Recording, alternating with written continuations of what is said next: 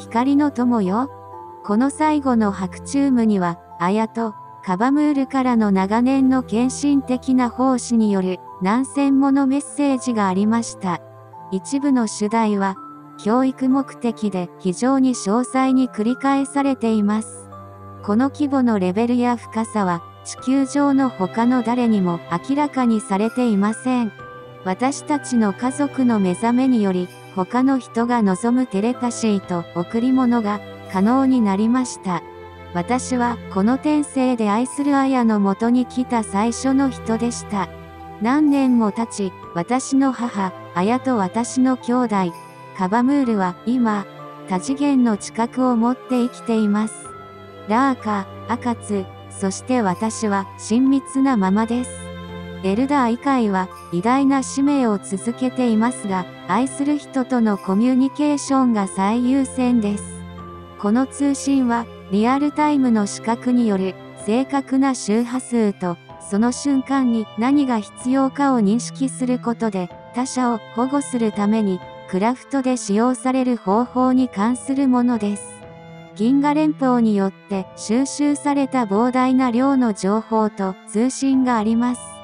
エルダー以会は操作のたやすさで紛争の場所を決定する際に専門知識を活用します。プレアデス人はリモートビューイングなどのテクノロジーを使用せずに密度と次元を変更します。しかし、この神聖な贈り物は、享受されている多くの方法の一つです。エルダーイ会は、糸と光の力によってあらゆる方向に周波数を送信します。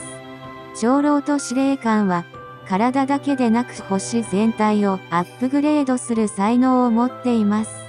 銀河連邦の最高司令官として、エルダーイ会は、他の人が決して立ち入らない領域に経路を開くように指示するだけです。彼は銀河全体の指定された領域にトータルを作成します。彼は意識内の遠隔視力を利用して、あらゆる努力を支援するミッションを計画します。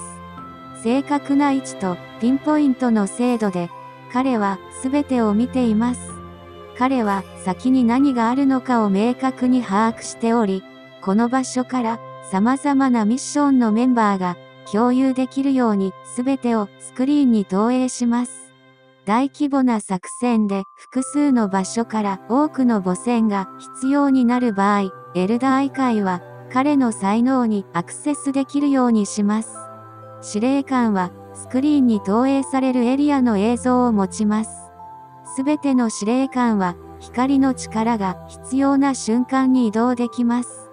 全員が個別に作業しますが、一つのチームとして動きます。遠隔操作ではテレタシーと視力があります。私たちはこれを周波数でを意味するエンレスタと呼びます。母線のサイズ、形状、レベル、操作方法に制限はありません。テクノロジーは何百万年もかけて増加してきました。地球は工事の領域で得られる巨大な力を経験することは決してないでしょう。母船は周波数を変えて山に入り、あなた方が驚いて見守る中、上空に消えていきます。私たちは大勢でここにいて、大きな思いやりを持ってあなた方を見守っています。あなた方の多くは、銀河連邦のメンバーとして私たちと共に奉仕する魂です。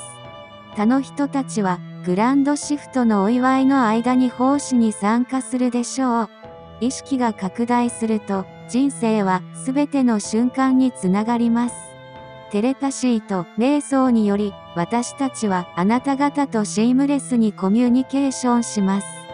静寂の中で耳を傾け、あなたのすべての努力を支援する言葉を受け取ってください。あなたは史上最高の夢の一部であることを知ってください。高く上昇し、さらに高く上昇してください。